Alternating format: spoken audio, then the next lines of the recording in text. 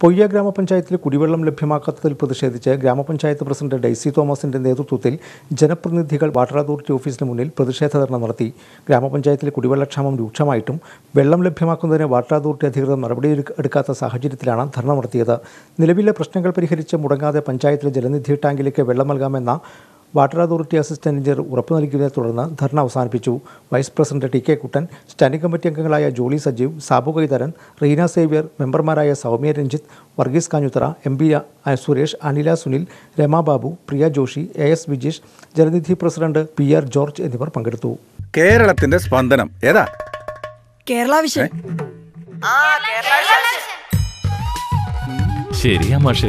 കേരളത്തിന്റെ സ്പന്ദനം കേരള വിഷൻ തന്നെ. ആണ് ഇനി തടസ്സങ്ങളില്ലാത്ത ഇന്റർനെറ്റ് ഉപയോഗിക്കാം.